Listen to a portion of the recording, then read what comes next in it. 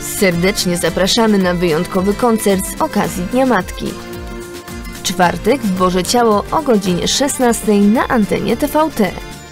Wystąpią Kola i Jula, Metrum, Renien Marko, Harmonii, Paweł Siluk Steiner, Mateusz Troll i przyjaciele, a gwiazdą wieczoru będzie Kordian. Czeka nas wieczór pełen wzruszeń, wspaniałej muzyki i niezapomnianych emocji. Najbliższy czwartek, godzina 16, tylko w TVT.